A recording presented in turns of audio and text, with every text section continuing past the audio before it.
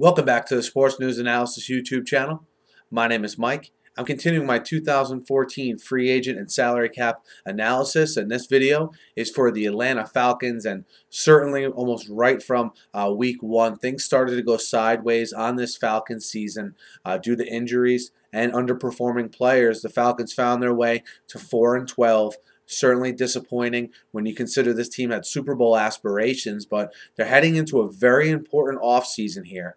One in, with the, one in which they have a shade under $10.7 million in salary cap space available, and they really only have one free agent to me that they would even consider that they have to bring back, and that's defensive tackle Jonathan Babineaux.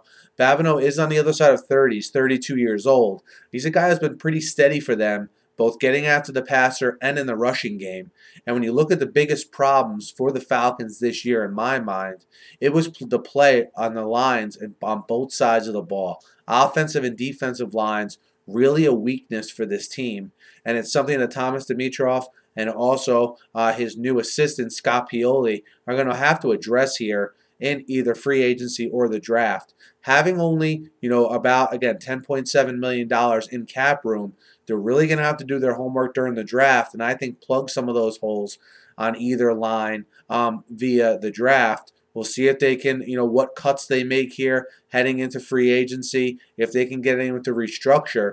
But Babineaux, you know, might cost three, four million dollars to bring back. Is he worth it to them? Do they take a chance on a younger guy? We'll see. Um, but again, there are some good, you know, free agent, you know, interior offensive linemen available, and there are also some very good free agent defensive tackles available. I mean, the two from Miami, Randy Starks and Paul Soliai. You have Linval Joseph, uh, certainly from the Giants, and there's some other guys I'm missing here off the top of my head. But point is, if they want to really upgrade the interior of that defensive line, they could definitely do it in free agency. It just might take up a lot of the cap space they do have available. So, you know, Dimitroff's known to be very aggressive, um, both in free agency and during the draft. So we'll see um, what he can get done there. Let me know what you guys think, how you guys see the Atlanta should progress here in the offseason, given the salary cap room they do have and the free agents they do have pending here. Hit me up in the comments. Hit me up on Twitter as well.